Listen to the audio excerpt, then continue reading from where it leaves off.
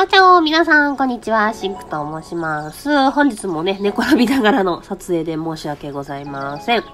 えっとです。ね、先日、この間、えっとね、和歌山のジロマルのハードオフに遊びに行ったので、まあ、その時に買った購入品と、まあ、何点か自分が気になったものを、あの、写真で撮ってきたので、スライダーショーがてら、動画を上げようかなと思って回しております。オープニングもエンディングもつけれてないんですけれどもね。まあ、よかったら最後まで見てっていただければなと思います。エンディングつけれるかな？あれだね、エンディングとかのやってるっぽの画像を、あの、携帯に映しときゃいいんだよね。じゃあ、動画撮影できるね。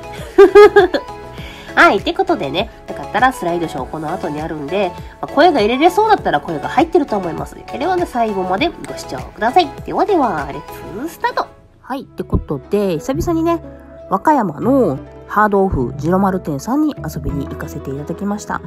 こちらの店舗さんはね、えー以前3月頃だったかな、3月下旬ぐらいに一度ね、遊びに行かせていただいているので、今回はね、その時から、まあ、変わってるものとか、まあ自分で気になったものを、今回はあの、ピックアップした状態で、えー写真を撮らせていただきました。それをね、あの、チラチラっとご紹介できたらなと思います。ということで、こちらはね、キングスライムですね。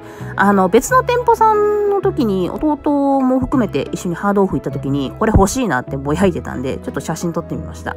可愛いですよね。で、他にもね、あったんですよ。キングスライムとこのオレンジともう一個なんか違うスライムが置いてあって、普通のスライムだったかな。まあ、それをちょっと撮らなかったんですけども。えぬいぐるみ可愛いですよね。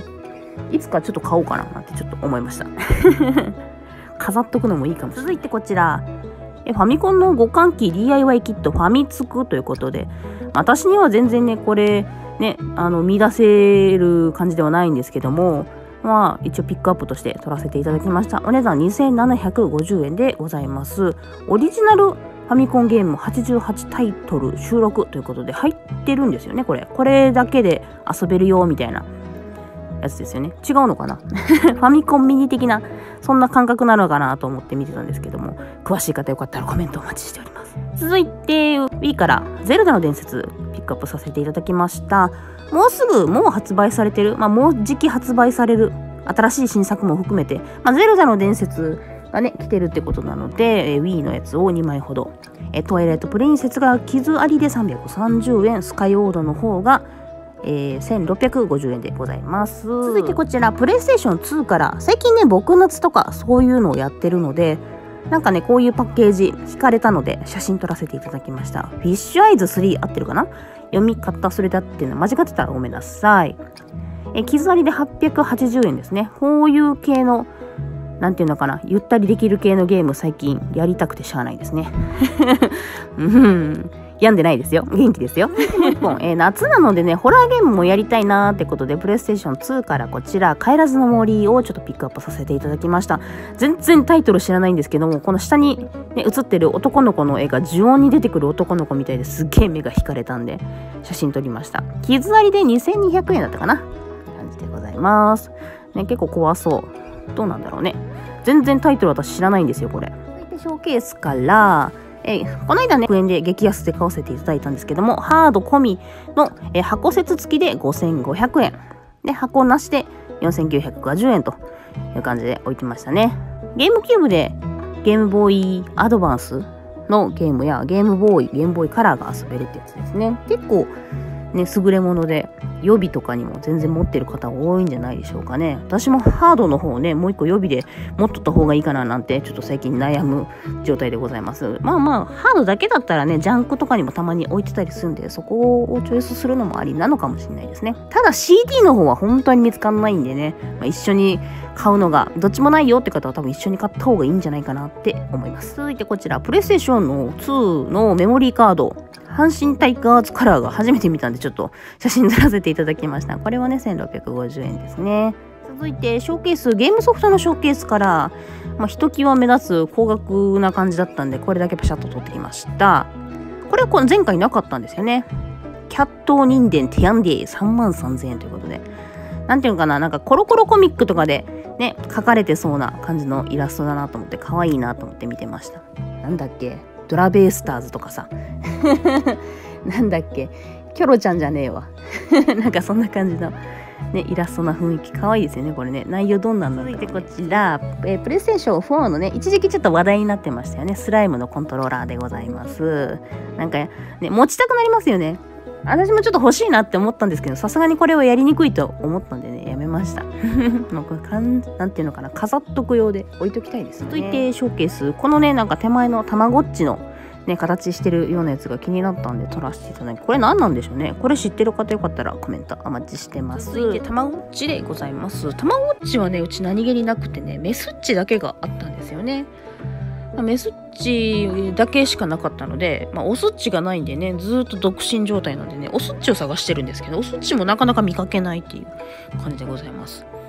でもう一個こちらもたまごっちですね。このたまごっちは初めて見たので、ちょっと撮らせていただきました。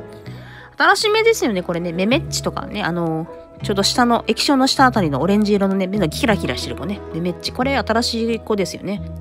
最近のたまごっちでもわかんないんで、またちょっとずつ新しいたまごっちやったりしようかななんて思います。DS のやつね、娘が買ってたんで、それをちょっとやらせていただこうかな。さて、続いて、まあ私といえばセーラームーン好きなので、ジェロマルテンさんはね、セーラームーンのショーケースがあるので、まあ少しだけ写真撮ってきました。これはね、セーラームーン R の、あの、話に出てくる敵キャラですね。個人的にはね、あやかしの3姉妹、3姉妹じゃない、4姉妹も好きなんですけど、前半で出てくる敵キャラなんですけど、そっちも好きだったりするんですけどね。個人的に敵キャラが好きっていう状態で言うんだったら、あの、私はセーラームーンスーパーズ SS って書いてるやつですね。あれのキャラクターが結構好きです。今ちょうど映画もやってたような気がしますね。で、最後がこちらでございます。このね、湯飲みが可愛いと思って。湯飲みが欲しいと。奥のカリスも欲しいんですけども、クリスタルカリスカリスだったかな欲しいななんて。もうセーラームーンのグッズはね、集め出したらきりないんでね、本当にいつかね、押くところがあって余裕があったらいつかね、集めていきたいですね。はい、ということで今回は以上となっております。ということで購入品の紹介に行きたいと思います。はい。ってことで、いかがだったでしょうかまあ、何点か気になるものもあって、まあ、結構買いたいなとも思ってたんですけども、いかんせんね、ちょっとお金がないのと、今月に至ってはね、しんちゃんがね、買うのを決定しちゃってたんで、まあ、控えめに セーラームーンとか欲しいなと思いながら見てました。で、今回買ったものはなんですけれども、よいしょ。はい、こちらでございます。ミラクルチューンズえー、ゲームでチューンアップだ、プンってしたそうです。書いてるからね。プンとか言ってるんじゃないか書いてるかな。はい、これはね、えっ、と、一番上のお姉ちゃん、長女のやつなんですけれども、あの、結構ミラクルチューンズがね、姉妹揃って、あの、なんだっけ、 U-NEXT とかなんかを入れてた時かな、ハマって、ドハマりして二人とも見てたので、まあ、ご購入させていただきました。まあ、300円、330円なんで、まあまあいいのかなと思って、買わせていただきました。中身が、よいしょ、ちょっと箱はね、ちょっとボロっちくなってたりするんですけれども、よいしょ。見て見て。開けた時びっくりしたんですけどね。単品なんですよ、これ。このおまけの付属のおまけがついてて、よいしょ。これね。